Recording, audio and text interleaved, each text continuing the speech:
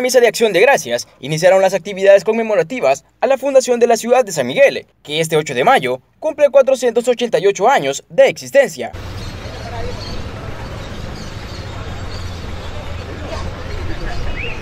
Posterior a la misa, el alcalde de la ciudad colocó una ofrenda floral al busto don Luis de Moscoso, ubicado en las afueras de la Catedral Basílica, quien fundara la ciudad migueleña en el año de 1530. Ahora hemos decidido celebrar el aniversario de fundación de San Miguel, estos 488 años, con una misa, como ya es una tradición.